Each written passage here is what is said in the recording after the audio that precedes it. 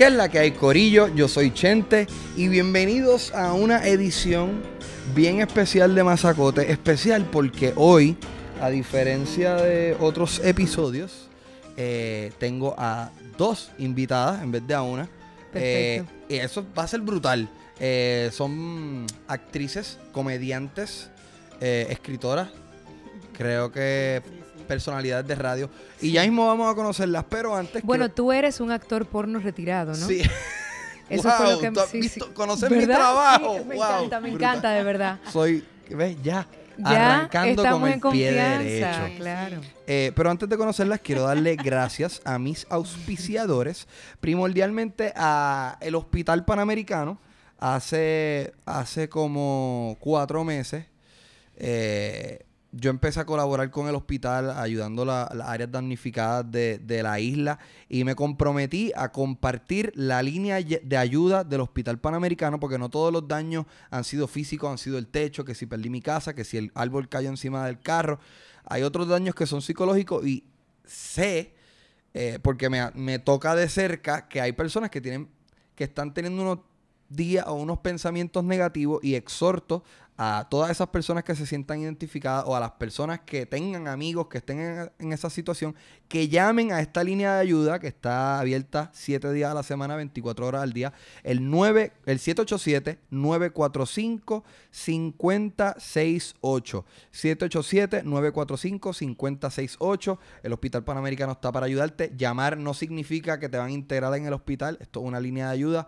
Eh, los exhorto a, llamar sin miedo. Esto es algo bien importante para mí. También quiero darle gracias a los a, a las personas responsables de que el internet aquí funcione, de que estos podcasts que duran una hora, una hora plus, a veces hasta dos horas, ejemplo, la entrevista a Farruko que estuvo brutal, tienen que escucharla o verla. Este arriba es gracias a Aeronet, un internet que yo tengo que eh, tengo entendido que tenemos como 3 billones de gigas. Eh, consigan Aeronet si ustedes quieren un internet digno de ver todo lo que ustedes quieran, incluyendo pornografía. Genial. Eh, aeronetpr.com. Incluso PR. vintage, de las que tú, en las que tú La- aparecías. Esas son un poquito más lentas. sí, eso es de colección. No, lo que pasa es que como la filmación, por razones obvias, es breve, claro. pues lo ponen lento para que sea más duradero. Este, y también quiero darle gracias al corillo de Phone Boutique and Coffee Shop, eh, que son las personas responsables de que yo tenga un celular digno de, de recibir mensajes de texto, llamar, ver internet, estar pendiente a todas las cosas que ustedes me escriben en Claro. Twitter, etcétera, etcétera. Vayan a Phone Boutique and Coffee Shop en la avenida Ponce de León, frente a la Poli, y denle like en Facebook a Phone Boutique and Coffee Shop. Ahora bien, les voy a presentar a... Esto siempre es emocionante para mí, porque usualmente eh, yo en- me siento con otros boricuas, personas que conozco un poco la carrera de estas personas, pero siempre es bien emocionante conocer a alguien aquí.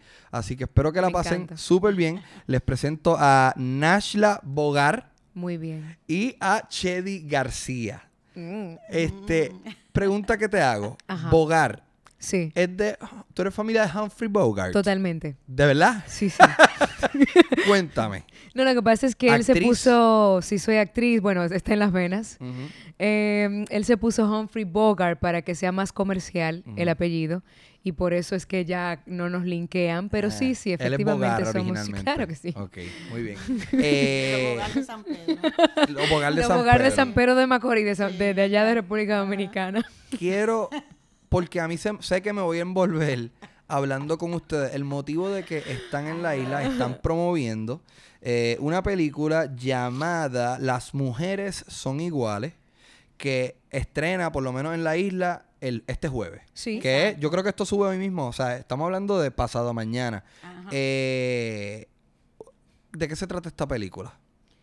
Bueno, es una comedia, una comedia romántica, tiene sus pues, sus cortecitos también dramáticos. Y es una comedia que trata de cuatro mujeres eh, que se hacen amigas, se conocen. Eh, se cuentan un poquito su vida, eh, sus problemas. Claro, que originalmente siempre le doy paso a Nashla cuando comienza a hablar de la película porque esta película es la segunda parte, es como si fuese una saga. Nashla estuvo en la número uno, yo me integro en la número dos, que son dos películas completamente diferentes, pero básicamente es eso, cuatro amigas que se conocen y que inician un viaje, un fin de semana para liberarse de sus esposos, sus novios, sus conflictos y en el camino gozan muchísimo. Toda la película es en este fin de semana. Este fin de Sí. semana, sí. Eh, tu personaje, Chedi, Es yo, Pachi. yo, yo, escu- yo leí esto en el comunicado. Y quisiera que lo comparemos brevemente con quien tú... Porque tú eres la mamá del humor. Sí. O sea que me llamó la atención porque yo sé que tú eres la mamá del humor. Eh, te, eh, te dicen la mamá del humor. Me dicen así, la mamá del humor dominicano, porque Ajá. ¿verdad? aquí debe haber una mamá de... No hay una mamá del humor aquí en, en Puerto Rico. Eh, me viene a la mente... Hay varias actrices, Hay pero no hay nadie que está coronada. Genial. Hay un nicho en el mercado, Chedi. O sea, este es tu momento. Bueno, eh, me viene a la mente a Wilda Calvia. Me viene a la mente a Wilda Calvia. Yo estaba pensando en... En... Ay, Dios mío, que no se me olvide el nombre. Te Es que. Angelina Jolie no es de aquí. Ah. ahí. Ca- eh, Carmen Nidia. Carmen Nidia también eh, tiene como, para Ese mí, en mi mente, ese, ese trono. Anyways, dice aquí que tu personaje, eh, Pachi se llama, es tímida, humilde, ama de casa, madre de tres niños y su matrimonio no es prioridad. ¿Cuán cercano es eso a, a Bueno, tu eso está contado a media. Ajá. Tiene parte de verdad, pero le falta otra mitad. Y es el hecho de que Pachi sí es así, es una mujer humilde, eh, de esas madres que cocinan, que están en la casa haciendo oficios, que no trabajan, que ella está completamente entregada a su familia, a su esposo. Pero hay un punto, y es que después que ella termina la jornada del día, y va a la cama a esperar a su esposo bañadita, perfumadita, para cumplir con su otro rol de mujer. El esposo le da la espalda y comienza a roncar porque llegó cansado, porque está aburrido, porque está con sus amigos, porque sencillamente ya no tiene ese, esa euforia de los primeros años en el matrimonio. Entonces, esa es la crítica. Primeros años. Sí. Yo creo que la euforia no duró un año.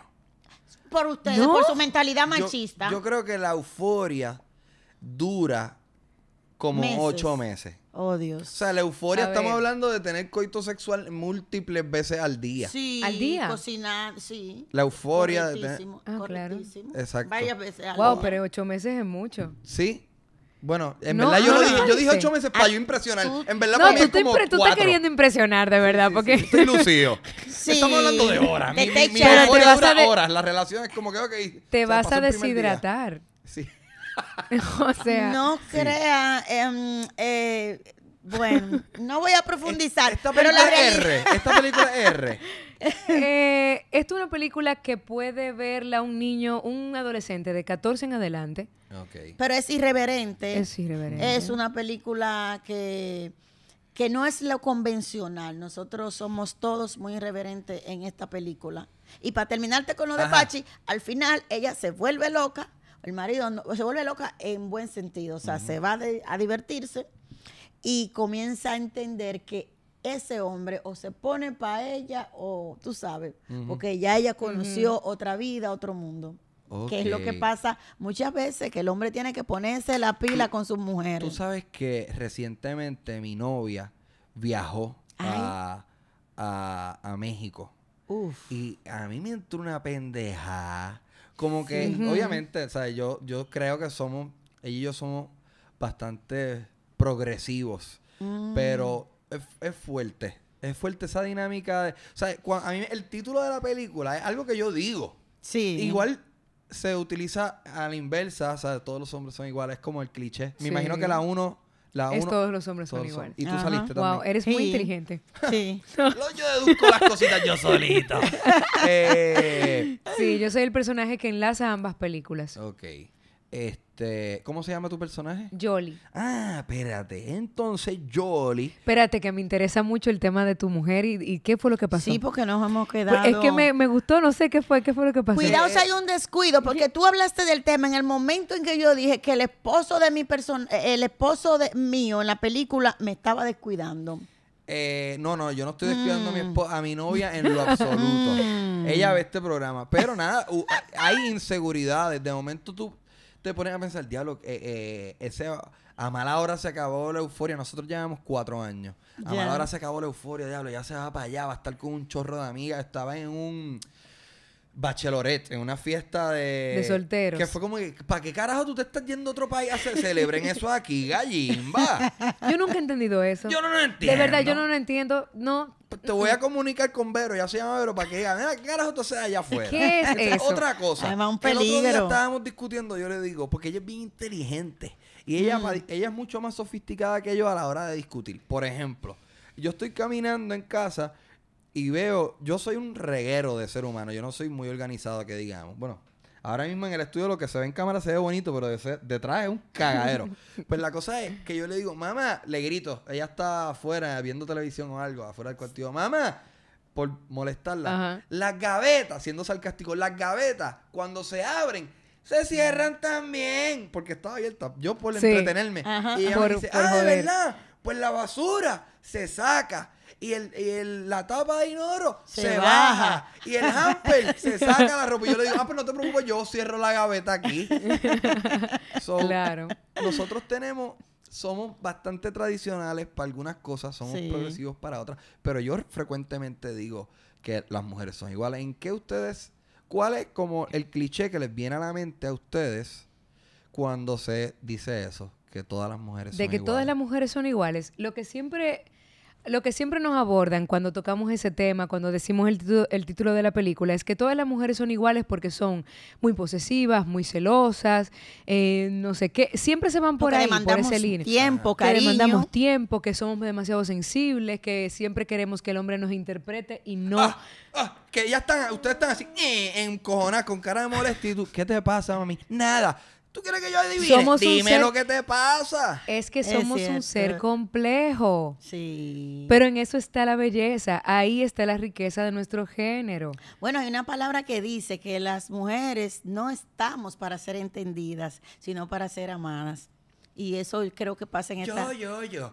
Yo, yo, yo. La mujer, la mujer, la mujer. Ay, no, yo soy pro hombre también. O No, sea, yo tampoco así, tampoco Ay, no, así. no, no es así. ah. Tampoco así, no es para maltratarlo, es para querernos. Ok. Vamos a hablar de Yoli brevemente. Ok. Aquí dice, en el comunicado, yo leí, que Yoli es madre soltera. ¿Eres madre? En vida real. No, bueno, tengo tres perritos hermosos. Ah, yo soy también en casa, somos Sí. perrunos. Poca suerte en el amor Ujú. En vida real. No, no, no. Jolly. No, no, Este pero es el en vida real. personaje. Ok, yo sé que, pero comparándolo en tu vida. Ah, ¿tienes poca ok, comparando con lo... No, no, no. Tengo muy buena suerte en el amor. y eres segura. Eres una mujer segura y me imagino que en la película hay una dinámica que tú trabajas en un mundo corporativo y trabajas con Em, hombres y eres como... No, en la película no, realmente no es así. No, no hago un papel corporativo ni, ni tiene que ver nada con, con temas de empresas. Es realmente al contrario. La primera película trata sobre tres hombres que se mudan solos y quieren una persona que les asista en la casa. ¿Qué pasa? Que ellos ponen el anuncio en el periódico y para República Dominicana cuando dicen asistente es una asistente de oficina. Y esta chica llega a la casa a buscar un trabajo de asistente de oficina. Llega a ese lugar como para, para, para saber de qué se trata. Cuando llega, eh, en- ve que es una casa donde viven tres hombres solteros, vueltos un desastre. Entonces ella comienza a entender que lo que quieren es una chica doméstica que les ayude en las labores del hogar. Y ella ve el desastre y dice, espérate, déjame aprovecharme de esta situación.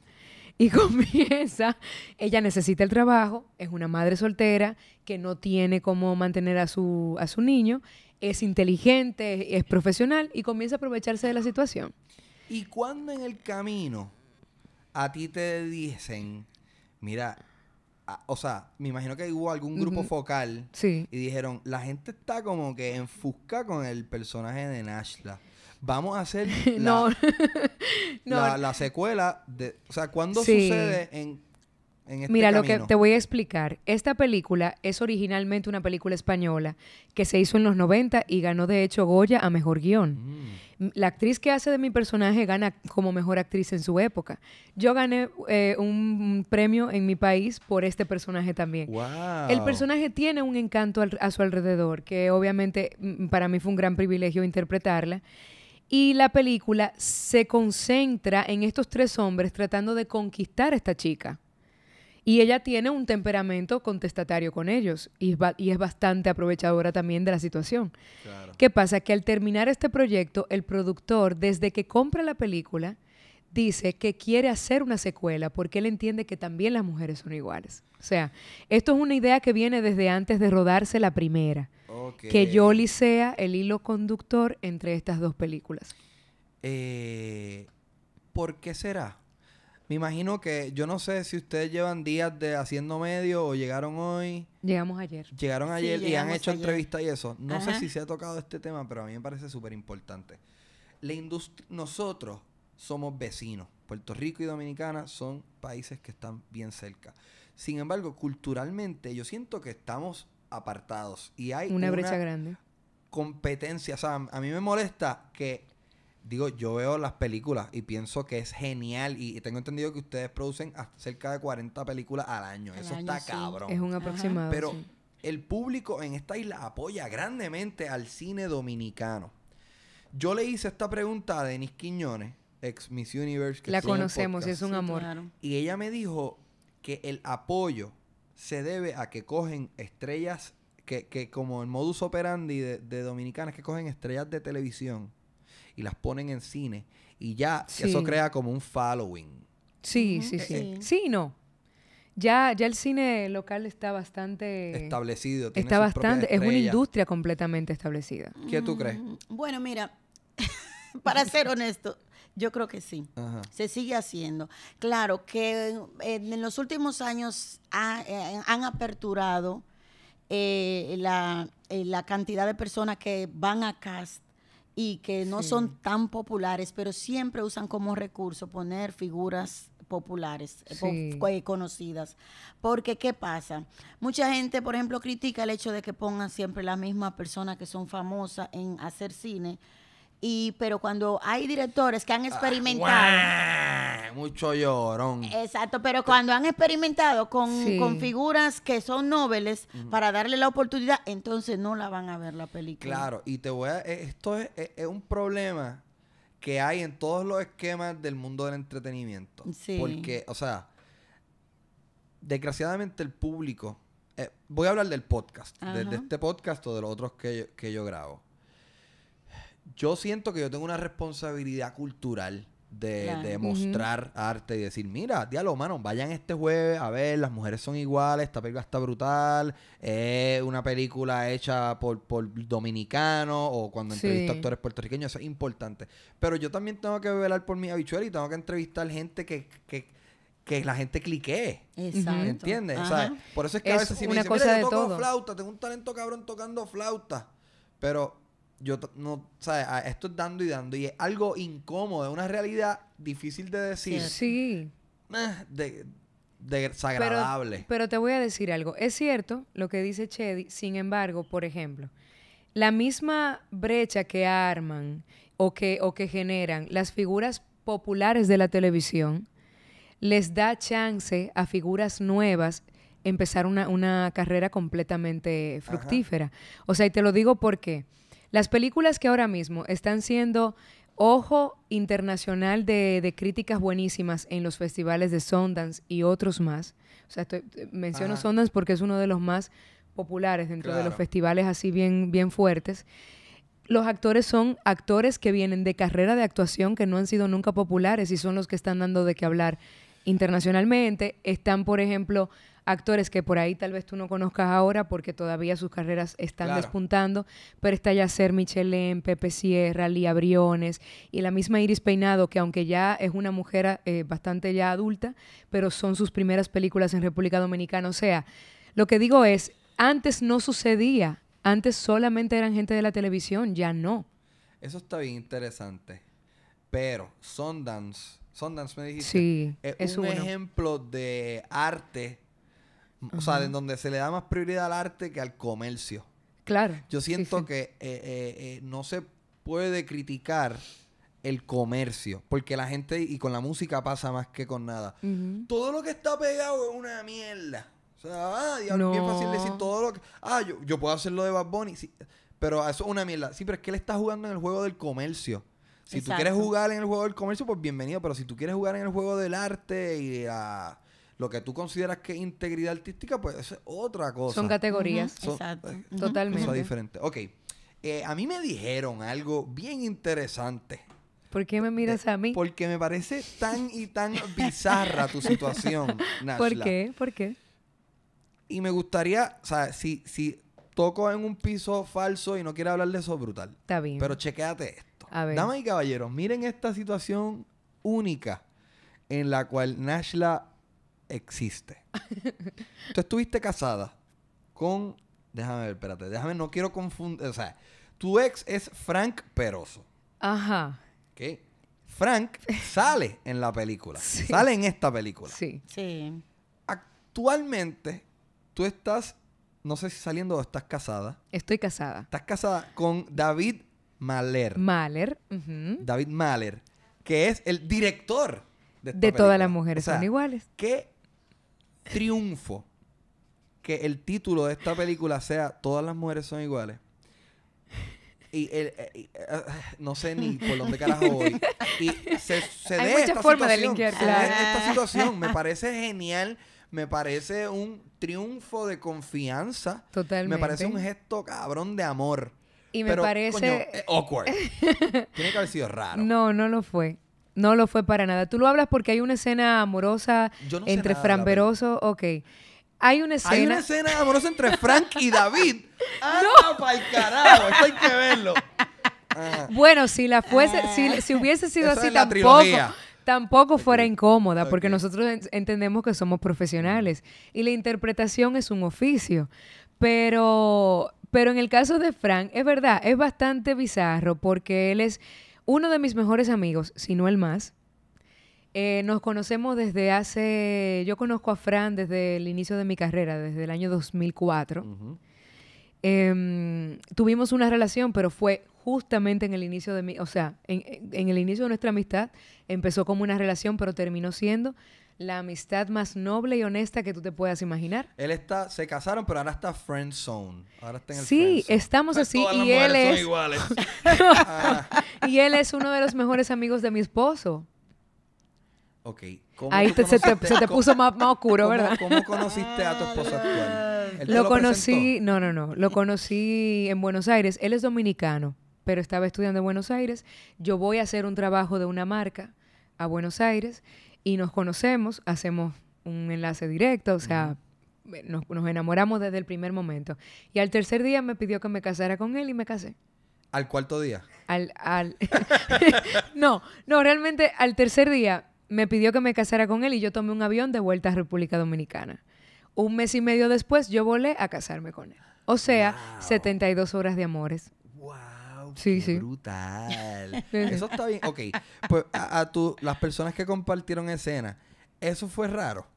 Como que, que eso es un teste como que, ay, Dios mío, Sí, mira, esta está con el ex, aquí está el esposo actual, Dios mío, qué bochorno. La realidad es que se siente un poquito nosotros fuera de, de la situación de ellos, eh, eh, uno lo siente un poquito raro, pero ellos lo manejan tan normal Sí. que uno termina viéndolo. eh, No sé si me doy a entender, porque a veces la, la mentalidad morbosa de uno. Pero Claro. como ellos están en un, tú sabes, esa Qué es la brutal. realidad. Esa es la realidad. Yo. ¿sabes Pero qué? nunca- Yo, yo, Sí, porque uno comienza a pensar. Sí, como, ay, mírala, mírala. Pero ay, luego ay. no. Pero no, para Todo nada. normal, todo bien. y, y oh, ok, última pregunta del tema. Cu- ¿Cuál es el personaje de Frank? El personaje es Tito. Y es algo tuyo en la película. Ya verás. My God. Ah, te Bueno, ahí encanta. tengo te que encanta. verla ahora. tengo que verla solamente para hacer como que anda para el carajo. Y detrás de la cámara ahora mismo está el esposo. Vete para el carajo. sí, dirigiendo. Pero déjame decirte, déjame, me voy un poquito más lejos. Ajá. La primera película que hemos producido, David y yo, donde él hace de director de la película y yo de actriz, es Rainbow, que vinimos a hablar de la película Puerto Rico justamente. En esa película yo tengo una escena de amor sexual mucho más subida de tono que la escena que tengo con Tito. La dirige mi esposo como su primera, como su ópera prima de película. Y yo mi primera vez él dirigiéndome. O sea, fue, digamos que fue un, un hielo que rompimos ahí. Ok, ¿cuántos días de filmación fue toda esa película para ti? El- ¿Entera o esa escena? No. ¿Cuántos o sea, en, en total, ¿cuántos días tú estuviste trabajando en esa película? Más de 20. Mm, Sí, sí, sí, Ok. 26 días. Estoy seguro que tú estabas como que se acerca el jodido día de la escena de la, del amor. Sí, había una cosa, pero, pero la habíamos trabajado como seis meses de antelación en conversaciones, en, en trabajo de ejercicio psicológico. Y realmente, cuando llegó ese día, fue todo menos el morbo del- de, lo que estaba pasando. Yo siempre he tenido esa... En esta película hay escenas de amor. Sí. Entre todos los personajes hay como... Por lo menos de besos. ¿Cómo? Sí. Yo he trabajado un poco en cine, pero siempre me dan un papel como tipo que está por ahí, trabaja un día. Pero siempre he tenido esta curiosidad de ¿cómo? O sea, cuando hay besos. ¿Qué?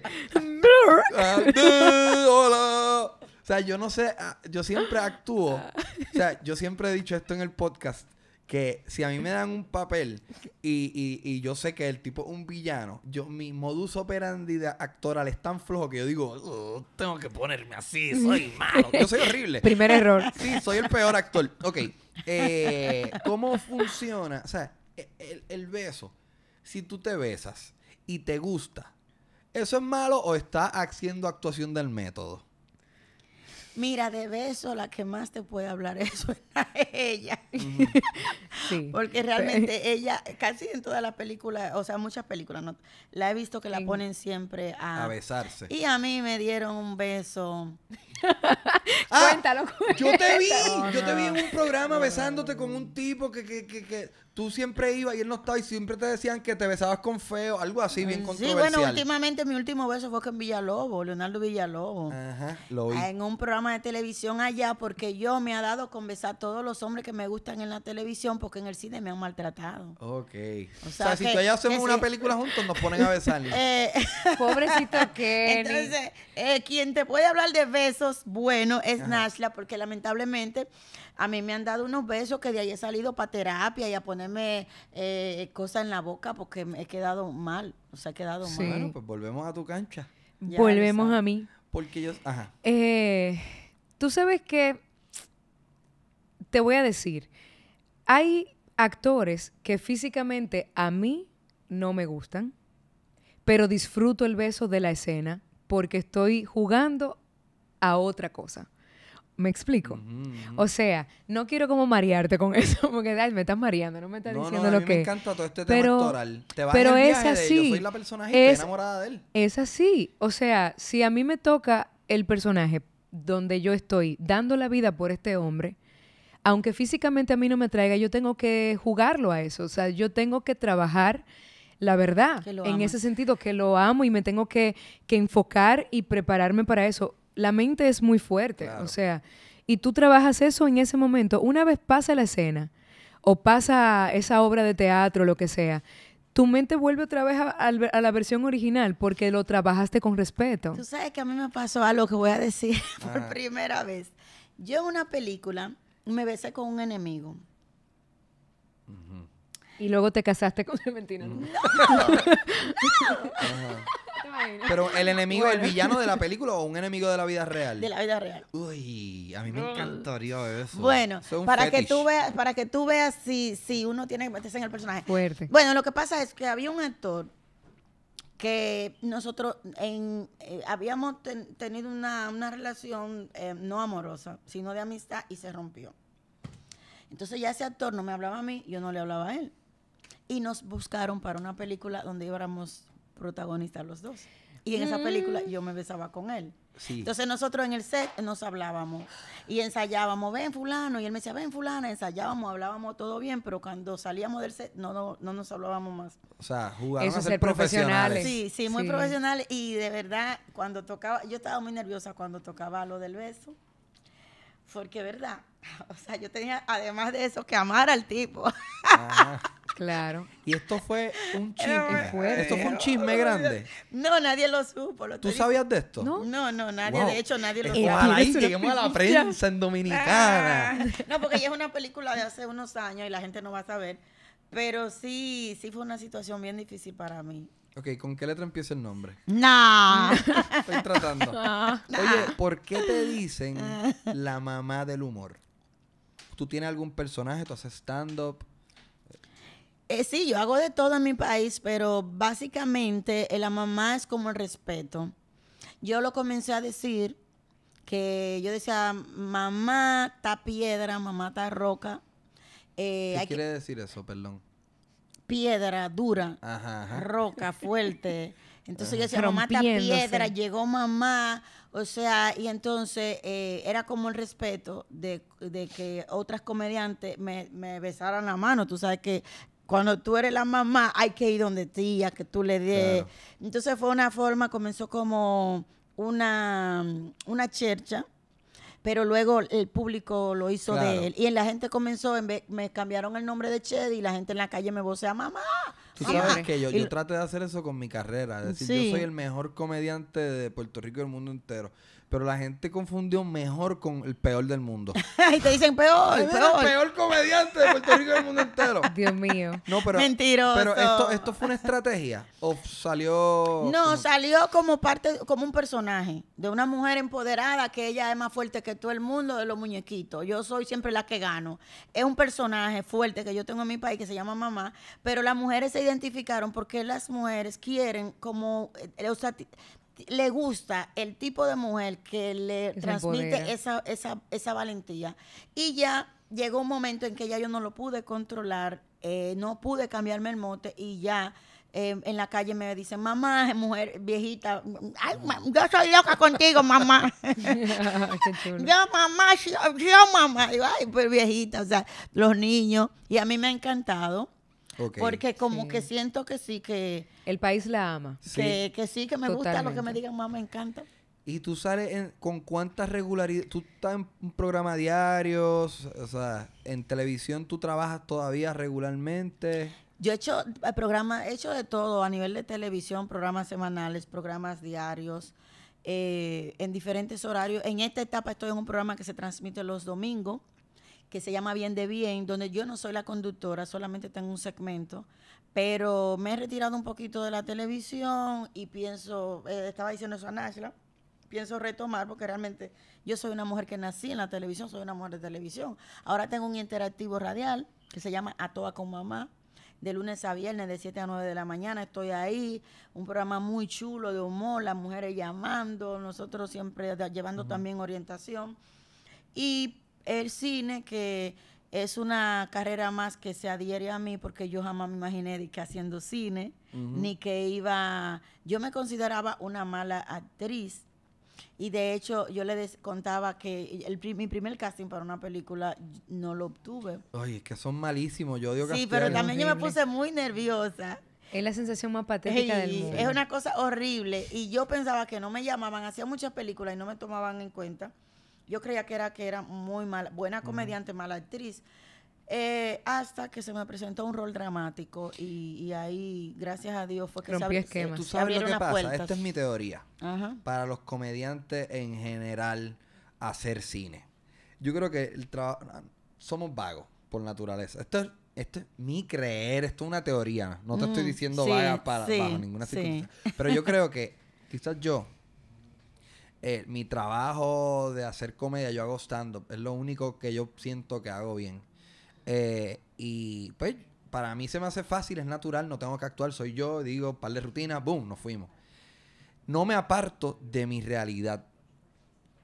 Y, y hago un poquito de dinero haciéndolo, esto y lo otro. Entonces, cuando voy a un casting, me parece tan difícil como que, ah, espérate, yo tengo que hacer de otra persona. ¡Eh, a Sí. rayos! Entonces, Te siempre presiona. hay algo también atrás de en la parte de atrás de mi cerebro que es como que tienes que hacer funny. Entonces, como que se me hace súper difícil luchar contra ese instinto de tratar de payasear. ¿Cómo lograste vencer ese? Porque estoy seguro que lo tienes. Estoy seguro que tenías ese instinto de, de tratar de ser graciosa en ese prim- primer papel dramático. ¿Cómo lo venciste?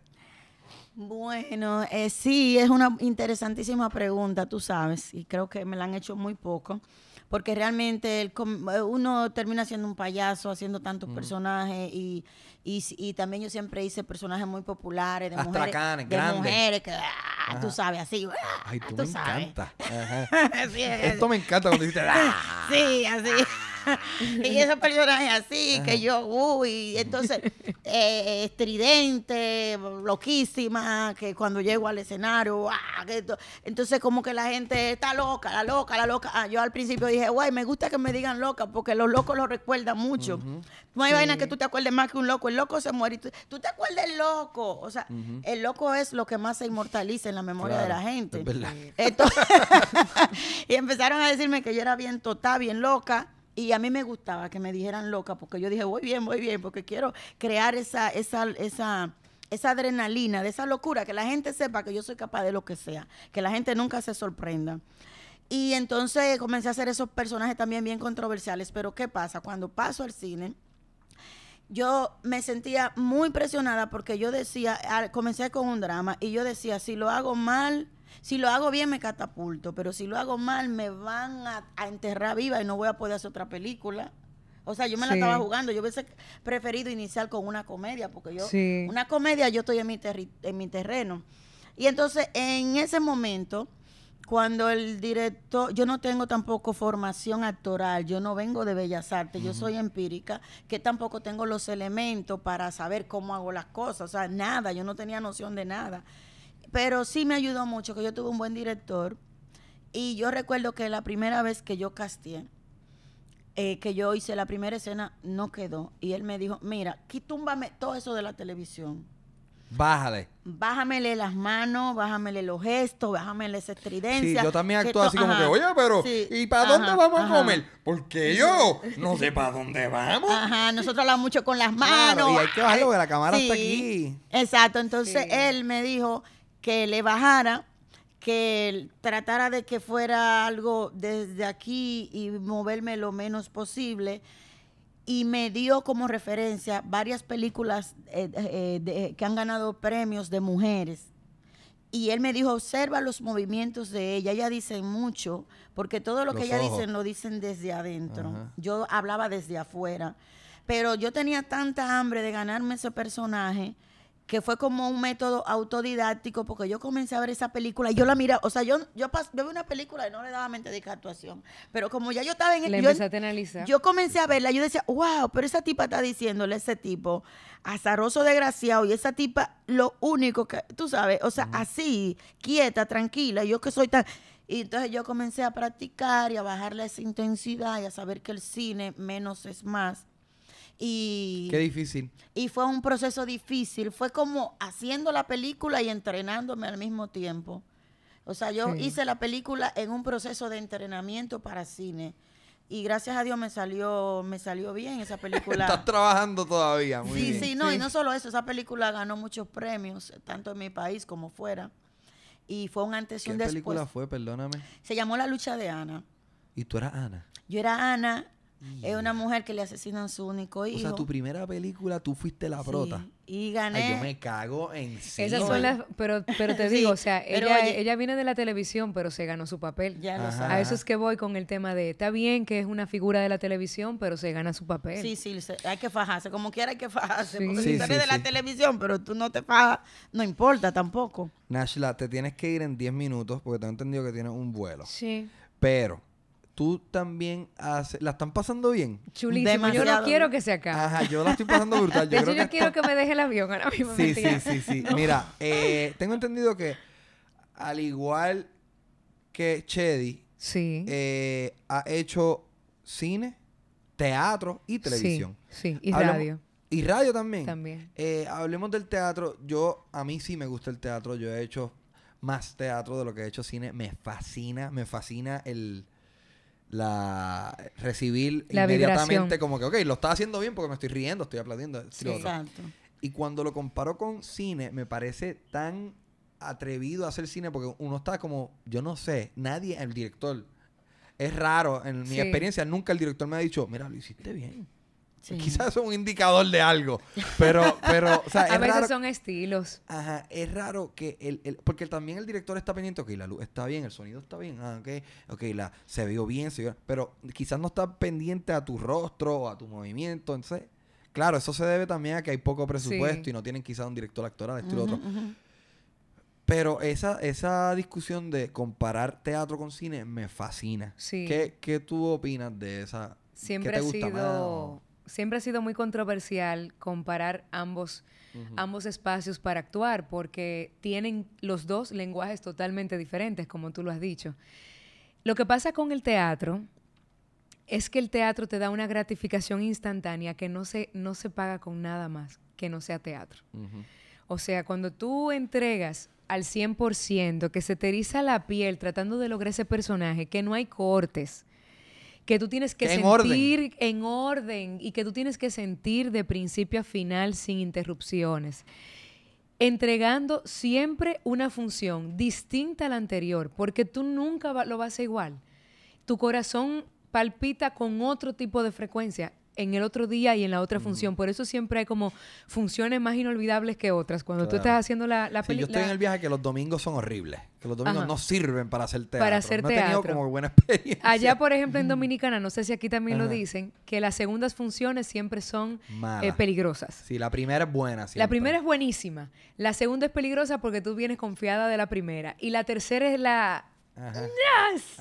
Lo hiciste bien. Y para mí, cada función tiene su encanto. Yo, el teatro al principio no era mi preferencia con respecto al, a, a actuar. Yo prefería estar en cine.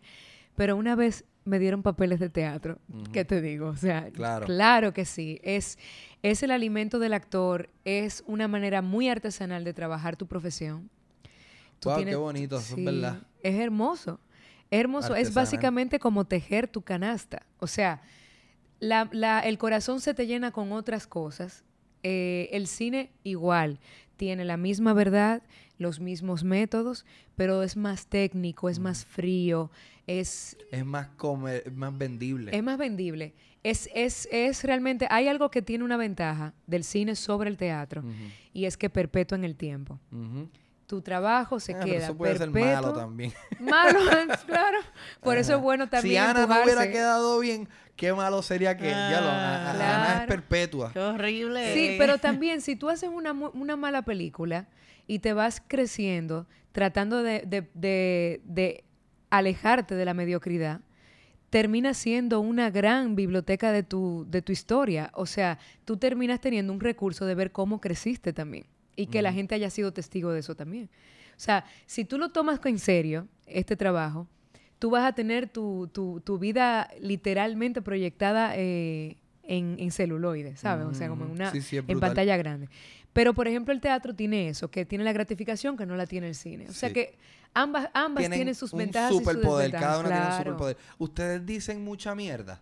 Sí, Sí. claro que sí. Mucha mierda, te deseamos mucha mierda. Mucha mierda esta noche. A mí me encanta. Yo, a mí me encanta que me digan buen provecho cuando estoy. Me fascina. ¿Sabes? Ah, me siento como especial. Y me encanta que me digan mucha mierda. Para cual, a- aunque a veces me lo dicen para el podcast, como que, "Ey, yo pa- a mi pareja me lo dice mucho. Tengo podcast hoy, voy a entrevistar a una muchacha. Mucha mierda. Mucha mierda. Ah, qué brutal. Me o que, te rompa, o se te rompa Sí. una, se te rompa una Pierna. Eso lo Pero tú sabes de dónde vienen esas expresiones, Sí, mucha ¿verdad? mierda. Yo, yo, ok, yo digo mucha mierda de dónde viene y tú dices. No, no, no me sé la de la pierna. Yo pero tampoco seguro- sé la de la pierna. Por eso te mandé a joder. Pero me imagino, me ¿Qué imagino que fue algún buen actor que se cayó de, de algún Ajá. sitio, se rompió la pierna, pero Y fue la, mejor función. encantada. Wow, qué Wow, buen actor. Pues dale, ¿por qué, por qué se No, tú- mucha mierda? Pero tú lo sabes. ok, lo que yo he escuchado es Sí, que sí, dilo en, en los tiempos de antes ah, estaba, la gente iba al teatro en carroza y con caballo. Y cuando se llenaba el teatro, pues tú salías de la obra y había una peste a mierda bien cabrón. Todos los caballos. Entonces, si hay mucha gente, hay muchos caballos, hay mucha, Mucha mierda. Así que te deseo mucha mierda. Sí. Este, bueno, eh, antes de despedirte, quiero repetir que esta película se llama Todas las mujeres son, Son iguales. iguales. Estrena, por lo menos en Puerto Rico, eh, este jueves. Eh, ¿En Dominicana ya está en cine o todo el jueves? ya está- pasó de, de estar en cartelera, Ah, ya tuvimos como algunos tres meses o tres meses y medio en cartelera, que eso es muchísimo para la cantidad de cines que tenemos y la cantidad de películas que llegan. O sea que ahora están mucho más relax. Ya saben que la película es buena. Sí, sí. Ya la han la visto hemos, muchas ya la hemos disfrutado muchísimo allá y, y- y claro que sí, la gente le encantó la película. Eh, comparte, nosotros tenemos aquí muchos fanáticos eh, que estoy seguro que las van a querer saber cuáles son sus redes sociales antes de que te vayas. Claro, la mía es arroba nashlabogar, como se escribe. Tú lo vas a escribir ahí para que la gente sepa cómo es. Tú No, vas a un- tienes tú no que, vas a no, hacer no un lo voy a cintillo. poner. Lo- eh, ¿Sabes qué? Lo voy a poner abajo en la descripción. Aquí. No, no, cintillo no. Ah. Porque yo subo esto hoy Cintillo mismo. muy 90s, ¿verdad? No, es que no tengo tiempo de editar. Yo pongo esto junto al sonido con el video y se fue. Ah, pues abajo. abajo en la descripción. Abajo aquí. Si se me olvida, por favor, escríbanme en los comentarios. Yo voy a estar pendiente. Yo soy la primera que te voy a escribir. Se te olvidó ponerlo. Claro que tú vas a estar pendiente. Bueno, ojalá, dale, por favor. Este, pues, si quieres te puedes ir. Me gustaría quedarme contigo hablando, aunque sean 10 minutos más. No hay problema con... o Ustedes sí, están sí, no hay juntas. problema. No, hay No, no, problema. no. Yo me voy, ella se queda para la premier de mañana de todas las mujeres y yo me voy a Nueva York porque vamos a presentar Colao, que es una película que está en cartelera actualmente, Ah, donde yo soy la protagonista también junto Pero- a... Que mucho ustedes trabajan. Ah. ¿Junto a quién? ¿Junto a quién estás, perdón? Estoy junto a Raymond, Raymond Ajá. Pozo, Miguel Céspedes, Manny Pérez, el director es Fran Peroso, esa Por es la que película. sí, ajá. Eh, y es una comedia romántica, hay muchos otros eh, figuras importantes del cine. Eh, es una comedia romántica para toda la familia donde se mezcla el campo, la ciudad, un rico café y el amor. Wow, pues felicidades. Este, síganla en las redes y vayan a ver esta gran película a partir del jueves. Claro y tú sí. me tienes que prometer que Ajá. la próxima vez que yo venga a Puerto Rico, tú y yo tenemos que tener una conversación larga y tendida, porque Dale. siento que tú vas a terminar en actuación. Dale, dale, ojalá y ¿O así no? sea. ¿O no? Yo creo que sí. Siento que sí. Ojalá y así sea. Y Muchas hablar de la gracias. Triunfos, bienvenida cuando quieras. La próxima película que tengas la promueve. Y Perfecto. ahora, por cuidado. Yo me con- paso por aquí. Con toda la producción, chacho, esta producción aquí hay. Oh, Director, Dios. dirección, producción. Esto es parte. El equipo, sí, el sí. equipo. Ella está agachada, cuidado con la cámara, cuidado con producción. Ah.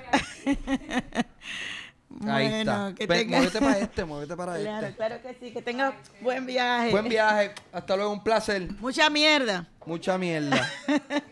Ok.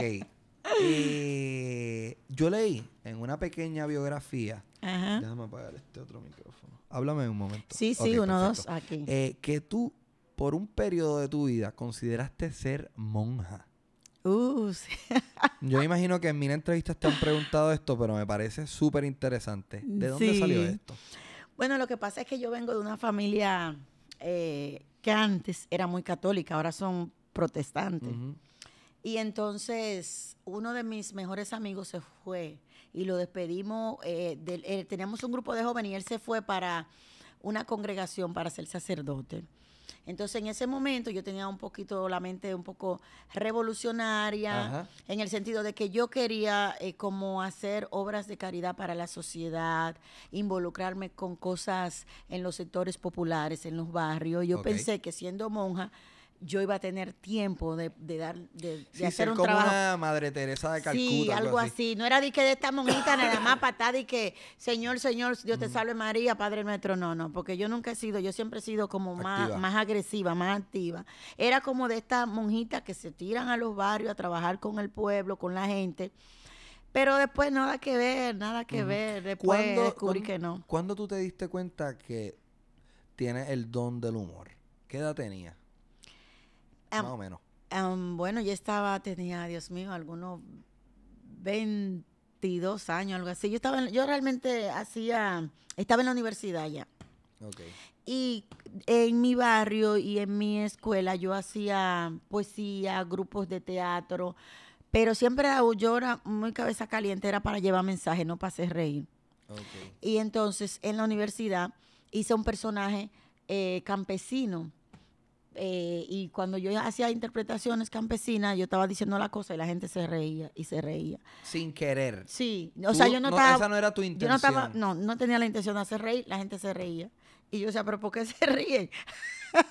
pero ¿por qué que se están riendo?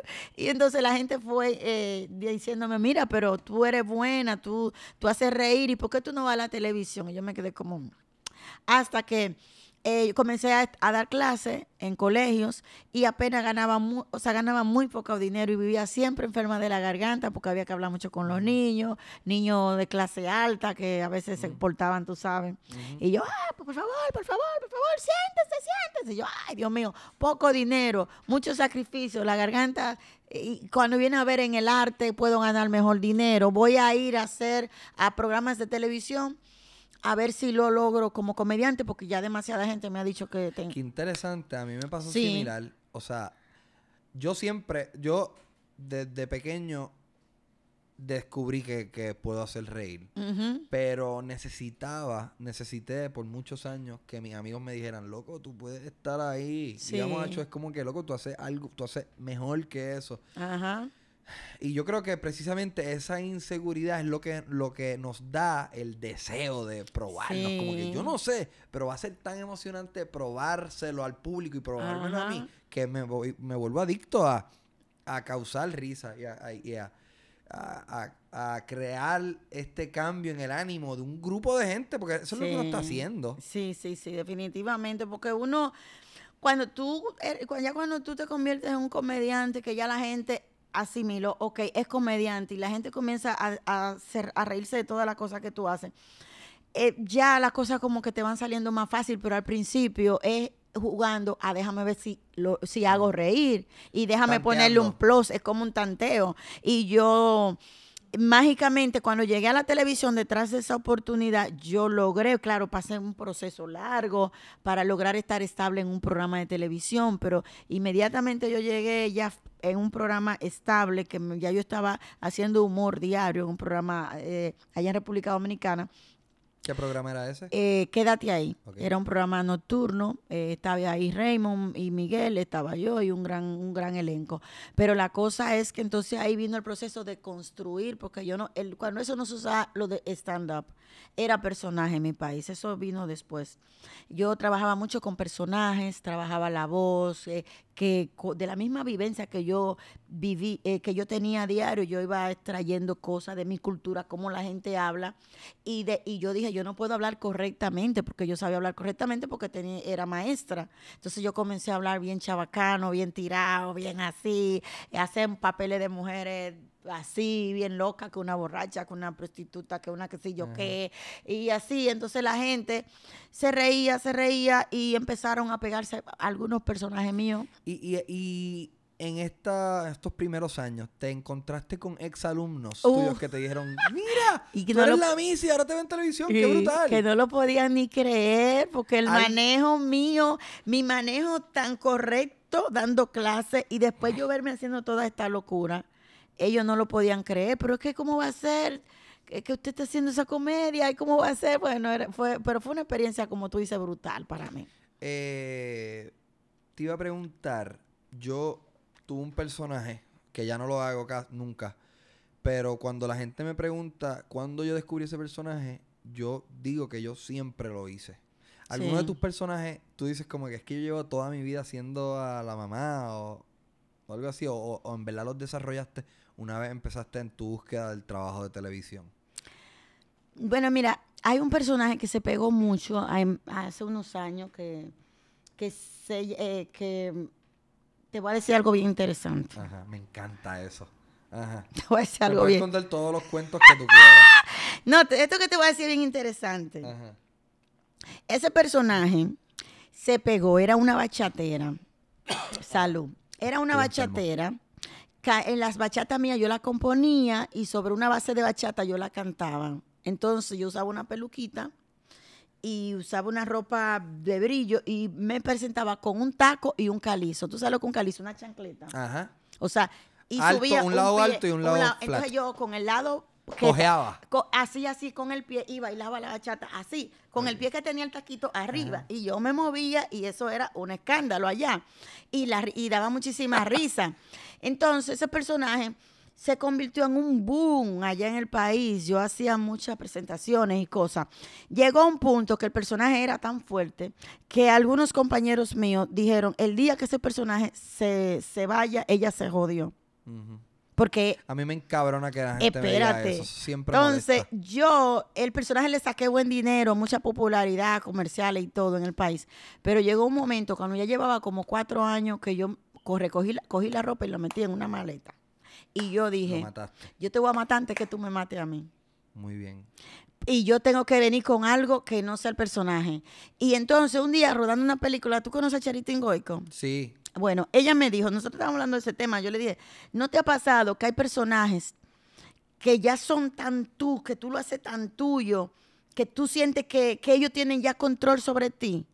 Porque yo sentía, yo podía estar triste con un dolor, deprimida, desde que yo me ponía la ropa de esa, de esa mujer, era ella. yo era ella. Era una cosa como que ese personaje a mí, y yo hacía cosas que después que yo me quitaba la ropa, tú me decías, pero tú estás loca, tú hiciste esto, y yo decía, ¿cómo va a ser? De verdad, a ese nivel. O sea, porque el Claro, porque uno piensa diferente. Una vez Sí. tú te pones esa historia, ya tú, tú eres, no eres tú. Tú eres el personaje. Y habla, hay algo, hay algo Hay mágico. algo mágico. Entonces Charity me dijo, mira, Chedi, a mí me pasó que cuando yo hacía la boquita muerta, yo, yo no la quería hacer porque yo quería también descollar como Charitín y cuando iba a los lugares a un espectáculo a cantar, la gente empezaba, la boquita muerta. Entonces, yo ella dice que ella decía que ya ella no la quería hacer más porque ella no es la boquita muerta, ella tiene su propio talento y ya quería ser ella, Charitín Goico, la famosa. Y entonces su esposo, que Dios lo, lo tenga en gloria, que murió, le decía, oye, hay un espectáculo y la gente está esperando que tú hagas la moquita muerta. Ella no quería, ella estaba negada. Cuando ella salió con todos sus bailarines bailando y cosas, la gente empezó, la boquita muerta, la boca, que querían la boquita muerta. Ella se fue detrás del, del coso y se tuvo que vestir del personaje. Y cuando el personaje salió, eh, dice ella que ella sentía que el personaje se estaba burlando de ella y decía, ella a mí no me quería sacar porque ella sabe que yo soy más fuerte que ella. Pero aquí estoy, vencí, ustedes me pidieron y mírenme aquí. Interesante. El personaje estaba diciéndole al público que Charitín no la quería sacar. Wow. O sea, es lo que te quiero contar, hasta qué punto a veces los personajes pueden tener vida. Tú sabes que esto está. Esto es uno de los temas más cabrones que se ha tocado aquí. Sí. Porque yo tuve mucho. O sea, yo nunca salí en televisión, pero el personaje mío se llamaba Fico Fronte. Para las personas que quizás desconocen de quién estoy hablando, se llama Fico Fronte. Y se fue viral. Esto fue hace como ocho años. Sí. Y viral para esa época eran 300 mil views, 200 mil views. Ahora yo no consideraría eso viral. Pero, anyways. eh, la gente le encantaba. Fue lo más grande que yo había hecho hasta el momento. O sea, en términos artísticos, era Sí, lo más pop, lo más que había pegado que yo había hecho. Entonces, la cosa es que esto es un personaje mío. Y yo, te- o sea, yo no soy un actor que se zambulle 100%, ¿sabes? Fico Fronte era parte de yo y, y, Sí, ¿sabes? una combinación. Pues la cosa es que todavía, años después, yo hago ciertos, tengo ciertos manerismos y uso, uso ciertas palabras y la gente me dice, se te salió ahí Fico. Y yo, no, no, no, es que Fico tenía parte mía. O sea, Sí. Eso era yo en el personaje. Ajá. Y, y, y también, similar a lo que dijiste, que resonó mucho en mi corazón, que es que yo no quiero que el personaje me coma. Ajá. Porque si yo me considerase un actor, o sea, ¿cuántos personajes tú tienes? Uf, Tú ¿cómo tienes muchos, más de cinco. cómo? O sea, si yo tuviese la habilidad actoral y la confianza en mí de hacer muchos personajes, pues cool, pues yo soy un tipo que hace personajes Sí. y, y pudiese haberlo hecho más. Pero yo siempre he tenido este, esta cosa que es que no, yo sé que lo que yo hago bien es stand-up, como Stand Chente. up, So, yeah. Quiero que me reconozcan como, mira, soy yo, soy yo hablando aquí. Dentro de mi rutina yo puedo hacer alguna payasería o actuar como un maleante o revisitar a Fico de cierta manera un poquito más medida de lo que lo hacía antes. Era un personaje bien crudo y bien fuerte. Sí, sí. Si quieres, ahorita te enseño algo. Era gross, súper asqueroso. bien- A mi mamá lo odiaba. Mi mamá me dice, no hagas eso, Oh, Chente". Decía- siempre la familia. ut- utilizaba mucho la palabra puta, ¿sabes? Era como súper hardcore. Sí, sí, y eso fue parte también, el respeto a mi familia. Una vez yo estaba jangueando con mi mamá. Y la gente, cuando yo estaba solo, la gente me decía, huele bicho. Bicho es pene. Entonces, eh, yo decía mucho, el personaje decía, huele bicho. Entonces, la gente me gritaba huele bicho. Y yo, ah, brutal, ah, fico, gancho cruz. Pero en el momento yo estoy jangueando con mi mamá, estoy compartiendo, y me dice, Sí. huele bicho, maricara, Dale. canto de puta. No Te está tan cool eso. Bájenle a eso. Y eso fue como una de las cosas que fue como, eh, yo debería intentar hacer otra cosa. Yo soy bien crudo y bien fuerte. En tus espectáculos de comedia, ¿son de adultos o, o eres familiar? Am, yo, eh, como una forma de marketing, eh, trato de hacer el show mío a veces fuerte, dependiendo para el público. Yo lo voy adaptando. Eh, porque allá, por ejemplo, bi- bien me pueden, o sea, no tengo una característica así tampoco muy fuerte. Porque me han, me han contratado, por ejemplo, para cosas, eh, para un público más Ah, ah, joven y cosas. Pero había un personaje, cuando salió el personaje de la mamá, ese personaje a mí me trajo muchos problemas. Por favor, elabora. Oye, lo que pasó. Yo había ten- yo tenía muchos años trabajando y mis proyectos personales de televisión no estaban caminando tan bien. Entonces había un proyecto que yo di la vida, me sacrifiqué muchísimo y el programa lo sacaron del aire. Era un programa de televisión. Tu programa. Mi programa de televisión lo La sacaron. oportunidad de tu vida. Eh, sí, yo estaba, de verdad, yo, de- yo dejé la vida en ese programa, mucho esfuerzo, mucho sacrificio. Entonces yo me vi en un momento de mi carrera en que yo estaba en mi casa y uno de, de los padrinos míos en el humor murió, que se llamaba Freddy Veras Goico, que era una persona que creía demasiado en mí, me admiraba, bueno, ese señor, y era el monstruo del humor en el- mi país. Cuando, Era como, me imagino yo, por tener una referencia en Puerto Rico, un Don Cholito. sí, sí, que era sí. como la eminencia. Sí, él era la eminencia y era la persona que más creía en mí. José Entonces, cuando él murió, yo me dije, ¿y ahora? Porque él era el que más creía en mí. ¿En yo, qué año fue esto? Uy, hace, ¿qué te digo? No, en los 90. eh, no, no, esto fue en el, como en el 2000, no, fue en los 2000 ya. Ok, no importa, pues sigue. Se Pero, murió y tú pero, dijiste hasta aquí llegué. entonces yo dije, hasta aquí llegué porque además de eso, yo estoy en mi casa, no me llamaban para cine, ni para teatro, ni para nada. Y como que todo el mundo se olvidó de mí, esta carrera es muy cruel. Y esta carrera el público te quiere, te ama, te adora, pero si te dejaron de ver, se olvidan de ti. Y siempre yo tenía la presión de que hay comediantes, mujeres comediantes, que con el tiempo han desaparecido. Yo decía, pero ¿por qué? Yo quiero llegar vieja haciendo lo que me gusta, que es el humor. Y yo estaba en un proceso en mi casa, así tranquilita, acostada, y pensando qué voy a hacer, y mi familia me decía, pero vete para Nueva York, tú sabes lo que mismo pasa. Entonces, es en ese momento que yo dije, yo, aquí en el país hace falta un personaje que sea controversial, que sea fuerte, Para que hablen. para que hablen. Y ahí fue que yo me inventé el personaje de mamá. Y cuando yo me invitaron para el primer programa, que yo entré con ese personaje, yo entré empoderada y diciendo cosas que usualmente yo era una persona que tú me invitabas a una entrevista y yo era muy light y siempre decía lo que es correcto. Y yo dejé de decir lo correcto por de- decir lo que es.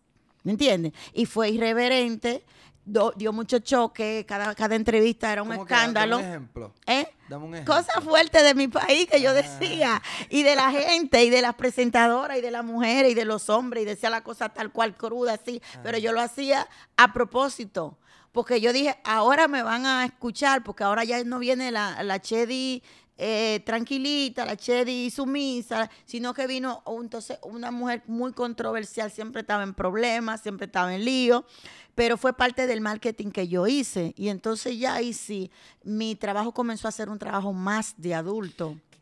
Qué interesante. Ya te he Sí, la controversia me provocó a mi país volverme a pegar y conseguir mucho dinero después que arranqué ese proceso controversial.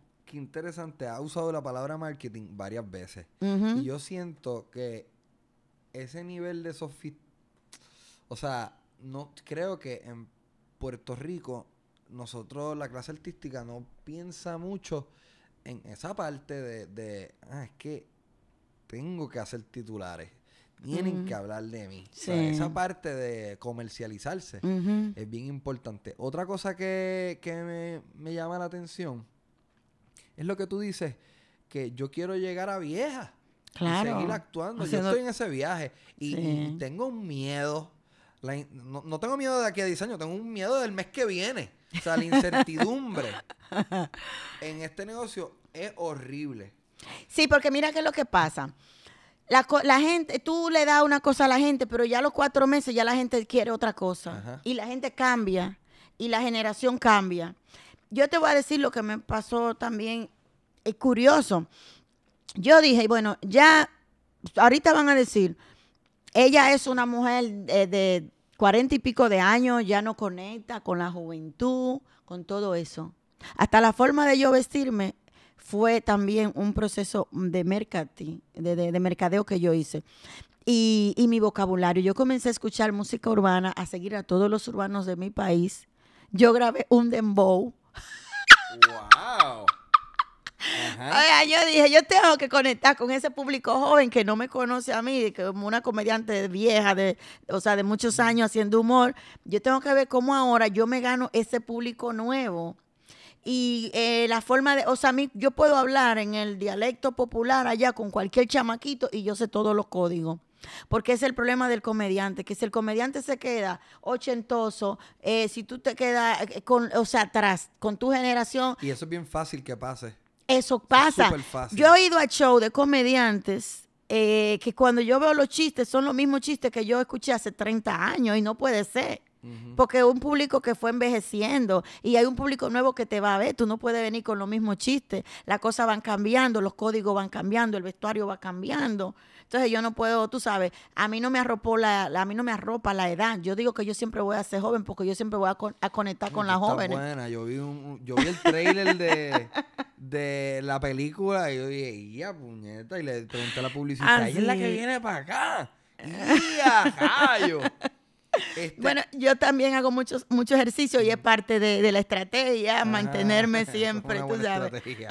Este, ¿qué, me- qué me recomienda para, para uno tratar de quedarse? O sea, seguir consumiendo cultura popular, estar al tanto con la juventud. Con todo, con todo lo que está pasando, el comediante tiene que estar bien revolucionario con todo lo que está pasando. El comediante tiene que hablar de lo que la gente en ese momento, si la gente está puesta en, en, en- ¿qué te digo? En, en arroz, hay que hablarle de arroz. Si la gente está- o sea, en lo que la gente está puesta, porque el- eh, eh, la cultura va cambiando.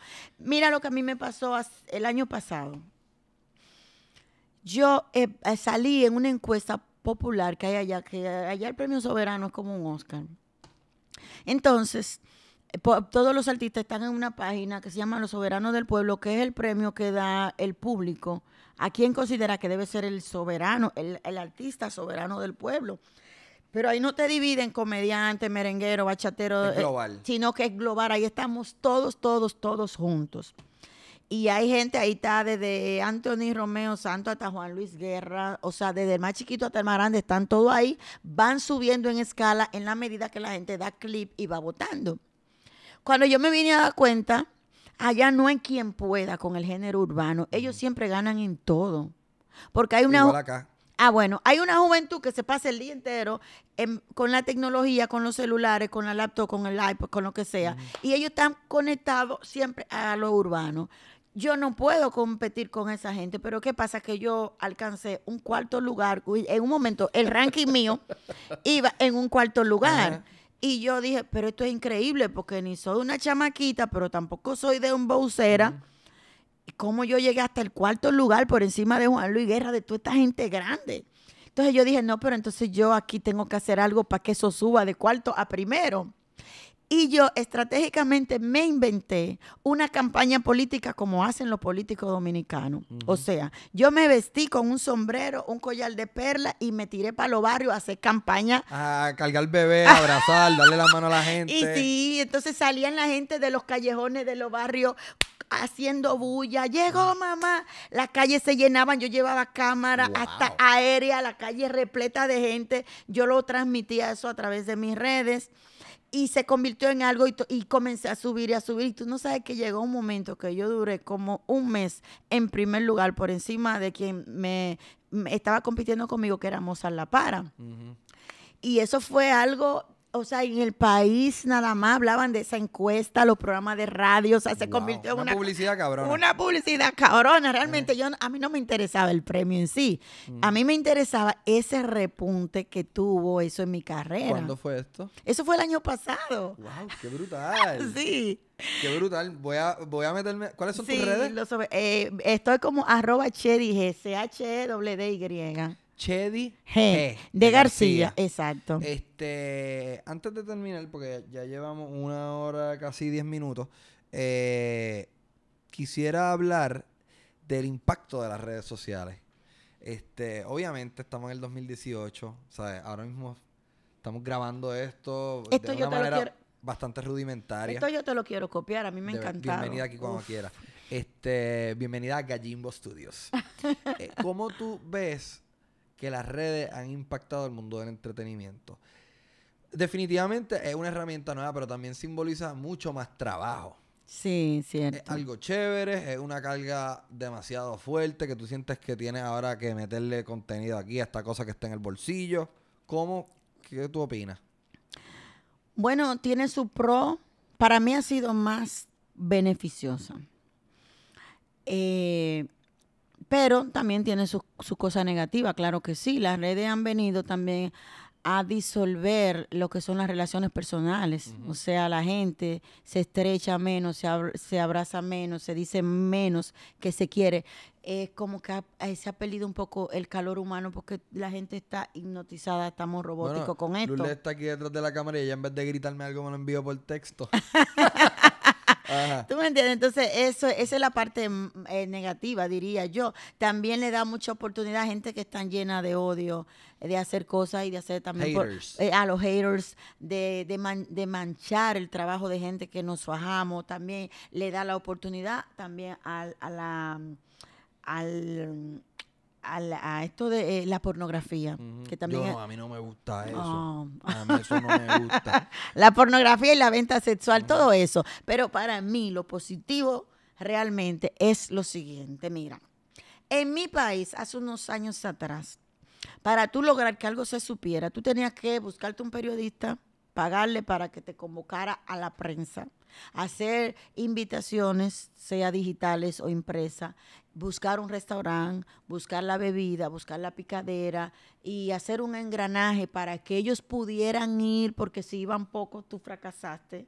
Porque Era un estrés cabrón. era un estrés, entonces después que ellos estuvieran ahí, entonces decirle, miren, yo tengo este proyecto, vengo con esto, esto, él le entrega la carpeta de lo que se trata y luego el proceso ve si te lo, si te lo colocan en, la- en el periódico, porque quizás no tuvieron el espacio para hacerlo. Todo ese proceso para que la gente supiera lo un que tweet. Ajá. lo que tú estás haciendo. Entonces, ¿qué pasa? Ahora los artistas siga- seguimos necesitando de la prensa, pero no es el único medio. Cuando yo quiero que algo se sepa, yo puedo utilizar para cosas puntuales, yo utilizo, claro, la prensa siempre va a ser el cuarto poder, pero a través de las redes mis cosas llegan rápidas. eh, la gente me la publicita porque va del de boca en boca. Eh, cualquiera con una camarita te hace un reportaje de un espectáculo tuyo. Tú estás haciendo un stand-up y hay 60 gente, 60 mil gente subiéndote al mismo tiempo y mañana tú tienes esa función y esas 60 mil gente Lo publicaron. lo publicaron y va más gente al otro día. O sea, para mí en ese Sí, sí, es aspecto... una herramienta cabrona. Pero me Sí. gusta. ahori- Ahorita mencionamos los haters. Uh, ¿Por qué será? ¿Por qué será? Que Tú tienes muchos haters. Sí, aquí ahora mismo, todo el mundo que está viendo esto, hay como 3 millones de personas. 2 millones son unos haters. eh, porque, no, no, estoy exagerando. Ponle, de cada no. 10 personas, uno no solamente es un hater, sino que quiere comunicar su disgusto. Puede ser con el- los muebles, puede ser con mi camisa, puede ser con tus uñas, la luz. O sea, Con lo que sea. ¿Y por qué es que de 10 comentarios positivos hay uno negativo?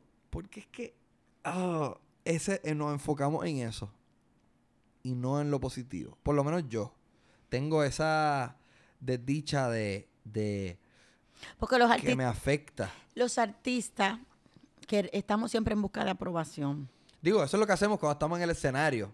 Estamos Tú estás buscando. esperando el ¡Eh! No- No, estamos aplauso. buscando bu. Nosotros no estamos esperando para, nosotros no estamos, nosotros trabajamos para la aprobación realmente y hay que, hay que aprender a veces que no todo el mundo te va a aprobar, porque tú, por muy bueno que tú seas, no es tu problema que esa persona tenga problema de que no te acepte a ti.